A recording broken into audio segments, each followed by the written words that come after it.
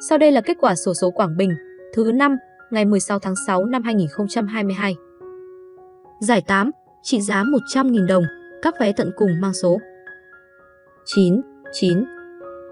Giải 7, trị giá 200.000 đồng, các vé tận cùng mang số 9, 1, 3.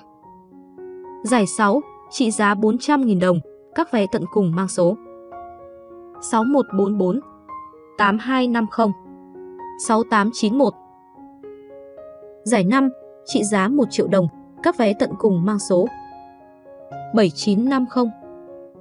Giải 4, trị giá 3 triệu đồng, các vé tận cùng mang số 14262 67038 67812 04532 94521 84405 17140 Giải 3, trị giá 10 triệu đồng, các vé tận cùng mang số. 33981 28714 Giải nhì, trị giá 15 triệu đồng, các vé tận cùng mang số.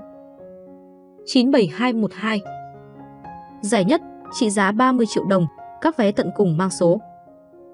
76606 Giải đặc biệt, trị giá 2 tỷ đồng, các vé tận cùng mang số.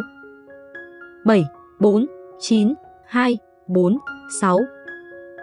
Xin nhắc lại, giải đặc biệt trị giá 2 tỷ đồng, các vé tận cùng mang số 7, 4, 9, 2, 4, 6. Kênh sổ số miền Nam, kết quả sổ số hôm nay.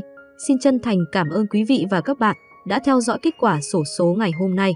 Nếu thấy thông tin đáng chú ý, hãy bấm nút đăng ký và ấn phím chuông để nhận được thông báo cập nhật kết quả sổ số mới nhất.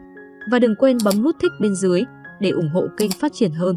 Chúc mọi người sẽ được thần tài gõ cửa trong một ngày gần nhất. Mến chào và hẹn gặp lại!